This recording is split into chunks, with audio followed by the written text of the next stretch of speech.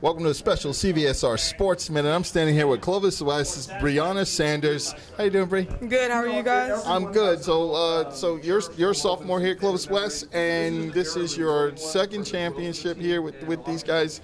Uh, tell me, tell me if it, you, you're getting bored winning championships. No, it's really fun. I love my sisters. Are like my like my family right there. So it was hard this season because we're lost like five five starters. So getting back here was like one of the biggest accomplishments we could do.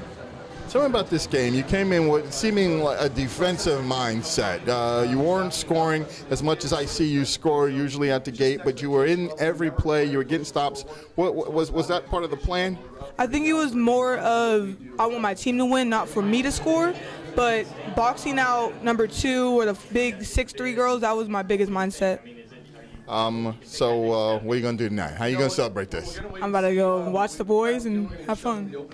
Well, congratulations, and uh, do me a favor, tell your mom stop, stop, you know, getting at me on Twitter. All right, tell her I, I got love for y'all. All right, congratulations. Thank you, thank you.